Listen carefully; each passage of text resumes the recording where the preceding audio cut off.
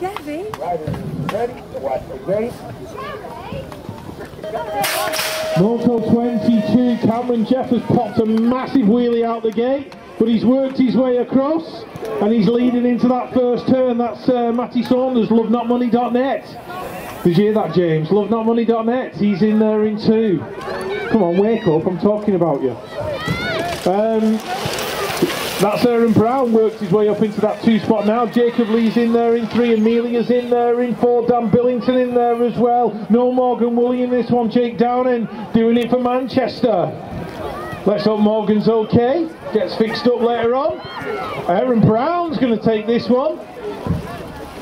Stay strong up to the max. Saunders there in two for Love Not lovenotmoney.net.